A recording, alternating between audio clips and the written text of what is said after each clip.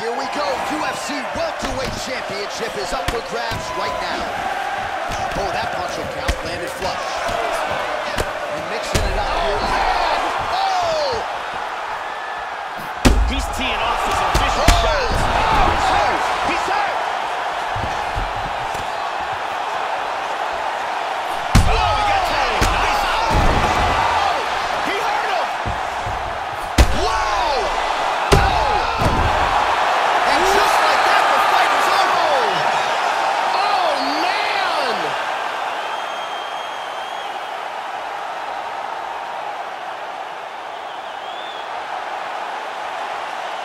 And here's the end.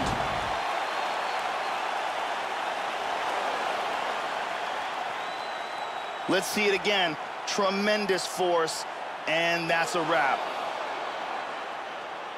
And here we see it one more time. Look at the timing in this shot. Boom! And then he's out. So there he is as the celebration continues. A huge knockout for him here tonight. That could hold up as one of the better knockouts of the year. Bruce Buffer has the official decision. Ladies and gentlemen, referee Yves Lavigne has called a stop to this contest at 47 seconds of the very first round.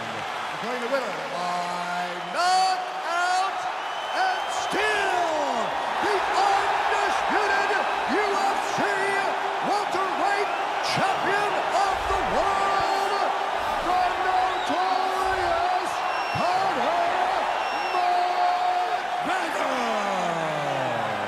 So some UFC history tonight as we crown a new UFC champion. Congratulations to fighter and team. And man, are they going to enjoy this one. A lot of people not giving them a chance coming in here tonight. And this is a moment that at times people just thought we wouldn't see. New champion here tonight. The longtime incumbent is out. There is a new sheriff in town in this division, and it is going to